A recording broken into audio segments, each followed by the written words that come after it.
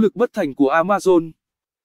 Xe bay, robot biết đi lại và các cửa hàng không tiền mặt, chỉ có một trong số những ý tưởng mà chúng ta thường thấy trên các bộ phim viễn tưởng, thực sự được đưa vào cuộc sống.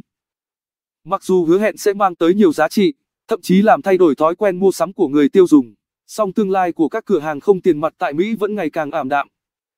Ngày mùng 7 tháng 5 vừa qua, công ty khai trương cửa hàng Amazon Go mới nhất tại thành phố New York, vốn là hệ thống cửa hàng không trang bị quầy tính tiền, cũng như nhân viên thu ngân.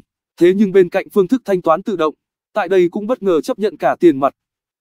Bằng cách chấp nhận thêm phương pháp thanh toán, Amazon Go sẽ thu hút thêm người dùng tới mua sắm tại cửa hàng. Điều đó thuận lợi cho họ và cả chúng tôi nữa. Cameron Janes, Phó Chủ tịch mảng bán hàng của Amazon cho biết. Thế nhưng, động thái này của Amazon cho thấy sự tồn tại của phương pháp thanh toán tiền mặt chẳng dễ gì bị thay thế.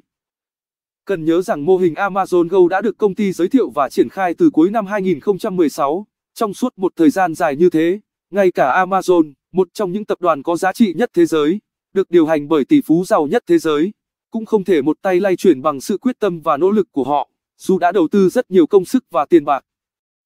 SNULEETGCEN, chuỗi cung cấp salad tại Mỹ cũng từng tiến tới thanh toán, không tiền mặt vào năm 2016, nhưng cũng sớm phải quay đầu.